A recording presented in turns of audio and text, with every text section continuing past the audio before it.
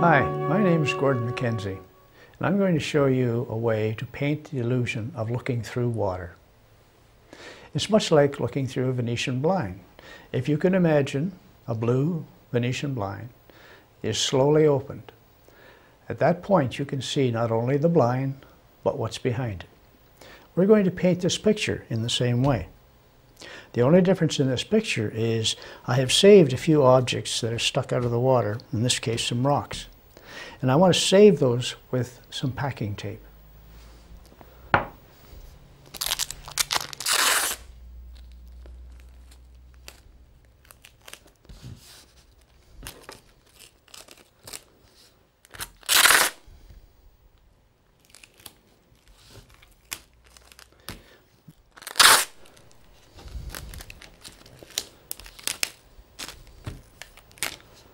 Don't worry about pushing the packing tape down completely at this point. Just get it on and make sure everything is covered.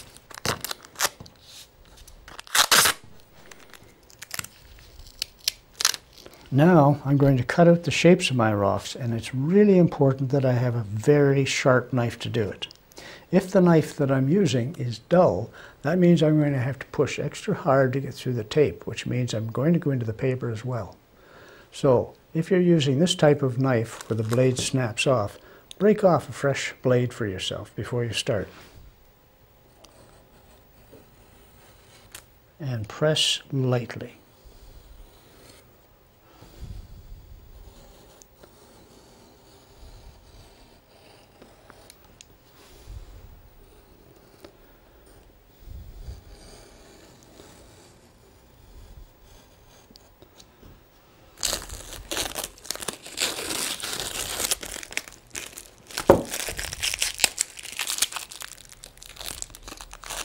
As you can see, it comes off without much problem at all. Packing tape is a tremendous tool for masking things that you want precise edges on. It's much better than masking tape because paint will not go in underneath it. I would suggest, however, that you test this on the type of paper that you're going to use. Some papers will tear when you try to lift this off later. This particular paper is Arches, and it will stand up to this process quite easily. Just in case you are afraid that the tape might tear your paper, you can always use a hair dryer to just warm the tape slightly. It will lift off quite easily then. The next step, once I've cut out my shapes, is to go over it and rub down the tape completely onto the paper. You should be able to see the texture of the paper coming through the tape. Once this is done, then I'm going to start putting on the paint. Now, going back to the idea of the Venetian blind, the first color I'm going to put on will be the color of the blind, the blue sky. And it's going to be a graded wash from dark in the foreground to light in the background.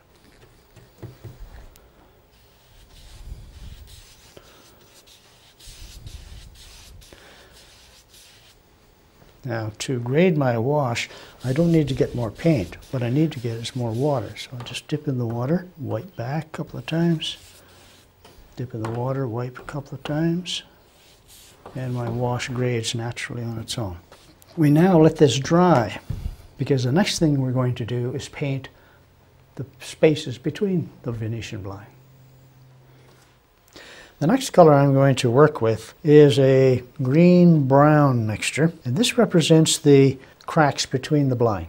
Essentially, it's what you see when you look through the water at the bottom. We're not going to paint this like a Venetian blind with straight lines. What we're going to do is paint the lines for the cracks between the, the blind in long flowing strokes that fit together. I'm going to start somewhere here in the, the foreground because I want to put in a few good long sweeping marks here. This represents the movement of the water. And you'll notice how I'm trying to keep the, the marks from touching each other. Sometimes they're long, sometimes they're short.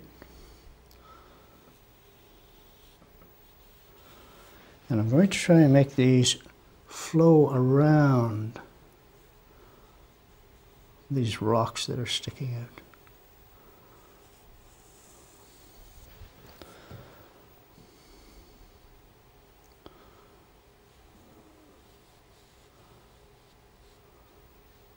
One.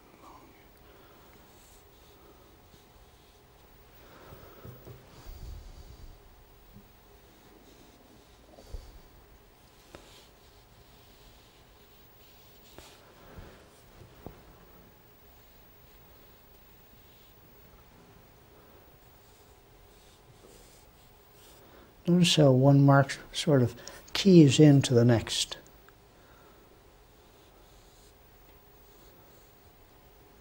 Not at exactly the same distance each time, but more or less parallel to it. All right, we're going to leave that there for now, let it dry.